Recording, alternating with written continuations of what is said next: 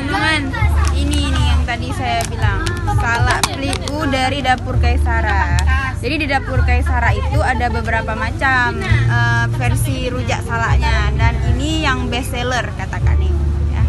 Cobain ya. Uh, peliunya asli bikinan sendiri nih.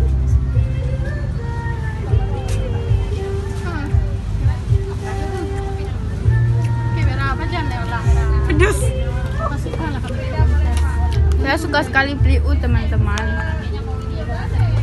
Jadi yang ini gimana rasanya? Semriwing. Hmm. Liunya tuh gimana ya?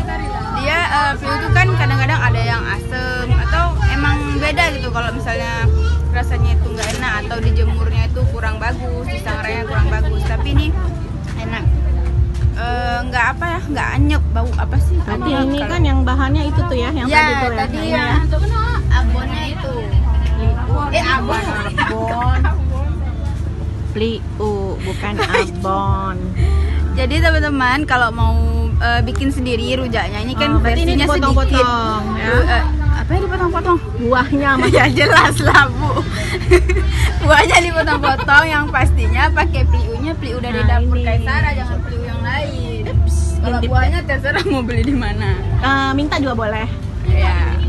Tambah cabai rawit. Kalau yang suka pedas ya, Jangan makan sama saya nanti jadi manis salahnya. ya. baiklah. Oke, ikuti terus liputan kami di channel YouTube Cuti.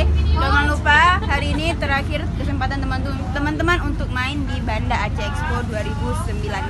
Oke, kalau nggak datang malam ini harus datang tahun depan. Terima kasih.